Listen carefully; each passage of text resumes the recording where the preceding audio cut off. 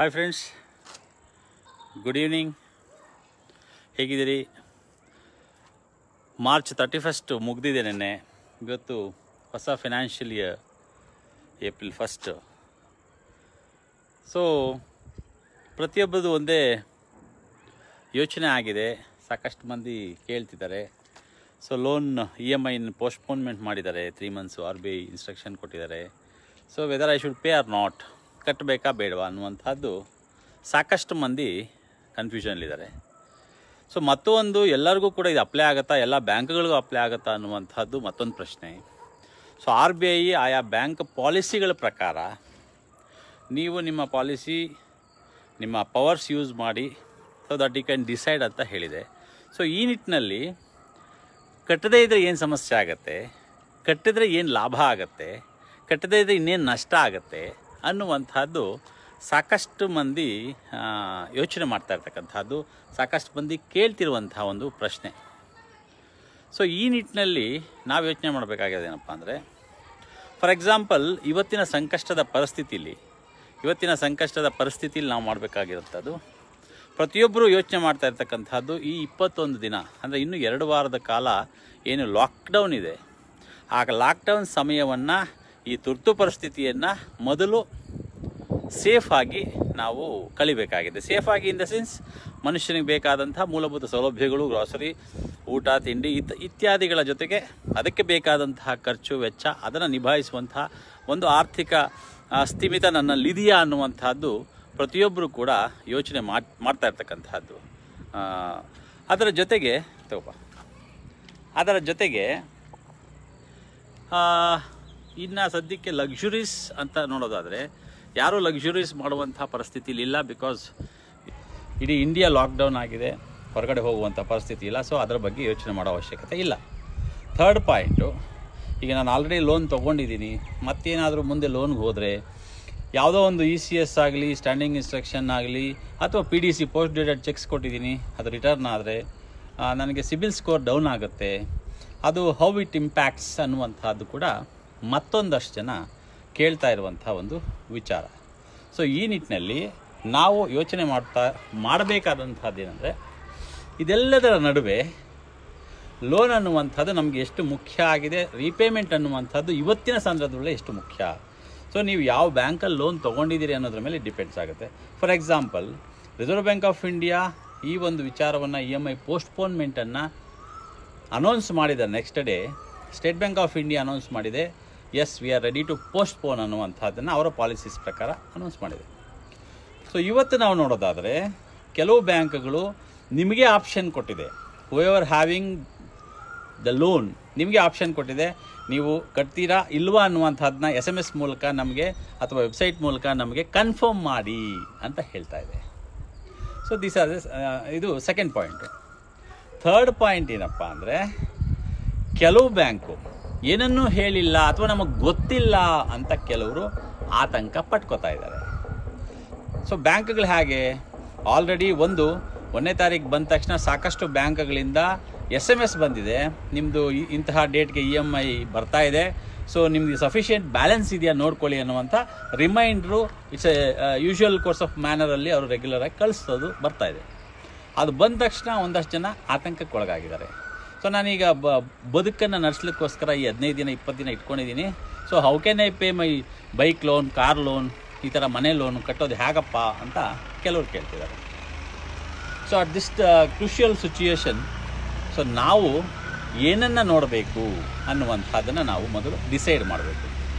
For example ನಮ್ಮ ಹತ್ರ sufficient amount ಇದೆ ಸರ್ಪ್ಲಸ್ ಫಂಡ್ ಇದೆ ಅನ್ನೋದಾದರೆ ಸೊ ನಮ್ಮ ಹತ್ರ ಹಣ ಇದೆ, ನಾವು ಲೋನನ್ನು ಇ ಎಂ ಐಯನ್ನು ಕಟ್ಟಿ ಕೂಡ ನಾವು ಬದುಕನ್ನು ನಡೆಸಲಿಕ್ಕೆ ನಮ್ಗೆ ಆಗುತ್ತೆ ಅನ್ನೋದಾದರೆ ಸೊ ನಮ್ಮ ಹತ್ರ ಎಕ್ಸೆಸ್ ಫಂಡ್ ಇದ್ದರೆ ನಾವು ಹಣವನ್ನು ಅಥವಾ ಇ ಎಂ ಐನ ಕಟ್ಬೋದು.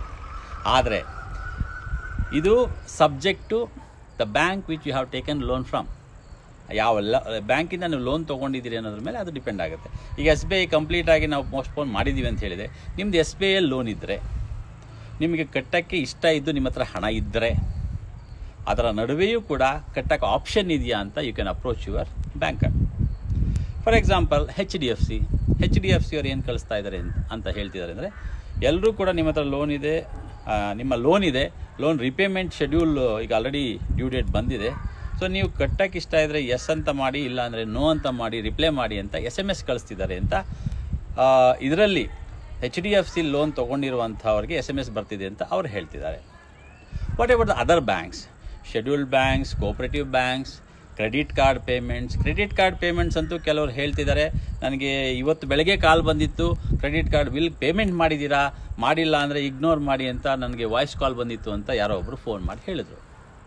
ಸೊ ಈ ಥರ ಇದು ಎಲ್ಲವನ್ನು ಈ ಕನ್ಫ್ಯೂಷನ್ಗಳ ನಡುವೆ so what we have to do we need to take our own decision so ನಮ್ಮ ನಿರ್ಧಾರ ನಾವು ತಗೊಳ್ಳೇಬೇಕು.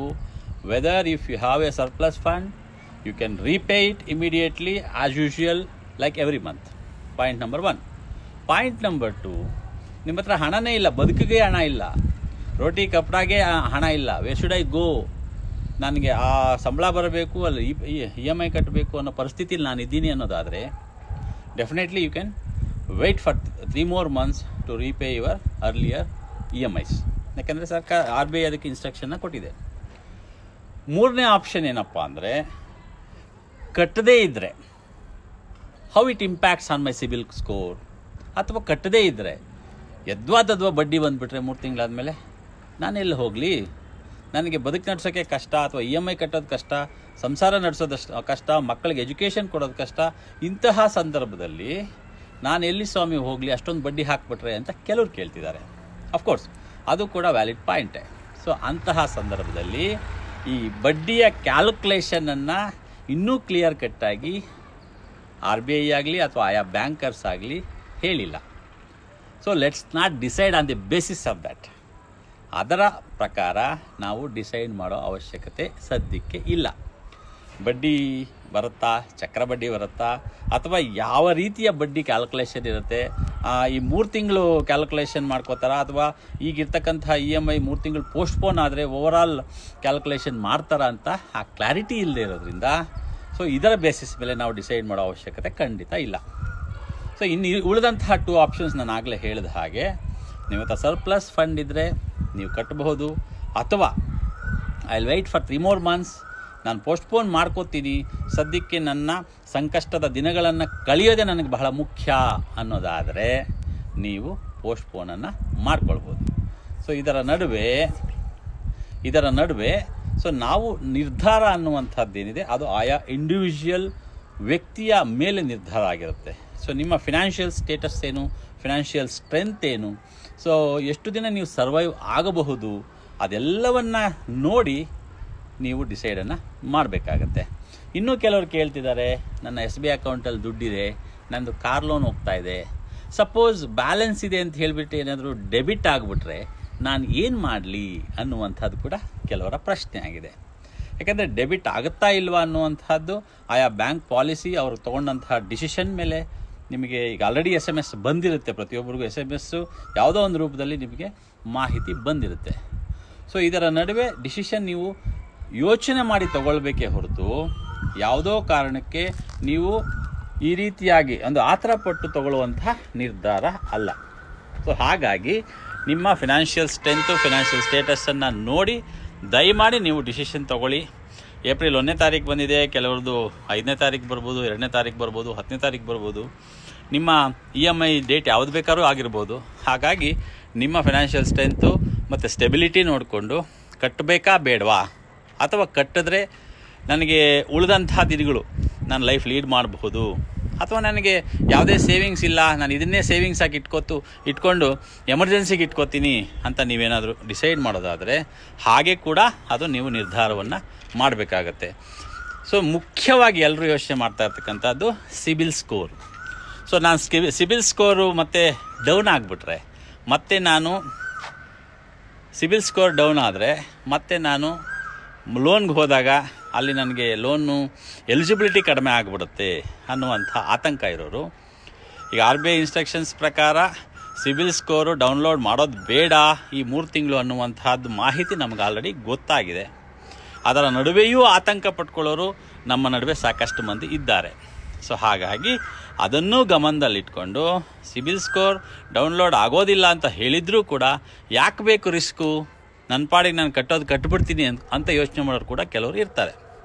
ಸೊ ಹಾಗಾಗಿ ಇದನ್ನೆಲ್ಲ ಅಳೆದು ತೂಗಿ ನೀವು ನಿರ್ಧಾರ ಮಾಡಿಕೊಳ್ಳುವಂತಹ ಒಂದು ಸಂದರ್ಭ ಇದು. ಸೊ ಹಾಗಾಗಿ financially when you are taking a decision please think twice ಎರಡು ಸಲ ಯೋಚನೆ ಮಾಡಿ, ಯಾವುದು ನಮಗೆ ಅನುಕೂಲ ಆಗುತ್ತೆ? ಸೊ ಆ ಅನುಕೂಲದಿಂದ ನಮಗೆ ಏನು ಉಪಯೋಗ ಆಗುತ್ತೆ? ಫ್ಯೂಚರಲ್ಲಿ ಯಾವುದೇ ಸಮಸ್ಯೆ ಆಗಬಾರ್ದು ಅನ್ನುವಂತಹ ಒಂದು ನಿರ್ಧಾರ ನೀವು ಕಡ್ಡಾಯವಾಗಿ ತೆಗೆದುಕೊಳ್ಳುವಂತಹ ಸಮಯ ಇದು. ಯಾಕಂದರೆ ಈ ಫಿನಾನ್ಷಿಯಲ್ ಡಿಸಿಪ್ಲಿನ್ ಇದ್ದರೆ ಮಾತ್ರ ಪ್ರತಿಯೊಬ್ಬ ವ್ಯಕ್ತಿ ಕೂಡ ಹೆಚ್ಚು ಸಾಧನೆ ಮಾಡಲಿಕ್ಕೆ ಸಾಧ್ಯ, ಅವನ ಅಗತ್ಯಗಳನ್ನು ಪೂರೈಸಿಕೊಳ್ಳಿಕ್ಕೆ ಸಾಧ್ಯ. ಹಾಗಾಗಿ please take your own decision and also please contact your banker for further information ಅಂತ ಹೇಳ್ತಾ. ಸೊ ಇಂತಹ ಒಂದು ಕ್ರುಷಿಯಲ್ ಟೈಮಲ್ಲಿ ಎಲ್ಲರೂ ಕೂಡ ಸ್ಟೇ ಅಟ್ ಹೋಮ್ ಅನ್ನುವಂಥದ್ದನ್ನು ನಾವು ಪಾಲಿಸೋಣ. ಭಾರತ ಸರ್ಕಾರದ ಈ ಒಂದು ತುರ್ತು ಪರಿಸ್ಥಿತಿಯಂತಹ ಒಂದು ಸಂದರ್ಭವನ್ನು ಸಮರ್ಥವಾಗಿ ಎದುರಿಸಿ ಒಬ್ಬ ಪ್ರಜೆಯಾಗಿ ನಮ್ಮನ್ನು ಜವಾಬ್ದಾರಿಗಳನ್ನು ನಿರ್ವಹಿಸೋಣ ಅಂತ ಹೇಳ್ತಾ. ನೋಡಿ, ಇಷ್ಟು ಜನನಿಬಿಡ ಪ್ರದೇಶ, ಜನಸಂದಣಿ ಇದ್ದಂತಹ ಪ್ರದೇಶದಲ್ಲಿ ಜನನಿಬಿಡ ಪ್ರದೇಶ ಆಗಿದೆ. ಕೋಗಿಲೆ ಸೌಂಡ್ ಕೇಳಿಸ್ತಾ ಇದೆ. ಹಾಗಾಗಿ ಈ ಪ್ರಕೃತಿ, ನಾವು ಪ್ರಕೃತಿಯನ್ನು ಗೌರವಿಸ್ತಾ, ನಮ್ಮ ದೇಶದ ಕಾನೂನನ್ನು ಗೌರವಿಸೋಣ ಅಂತ ಹೇಳ್ತಾ. So have a wonderful evening ನಮಸ್ಕಾರ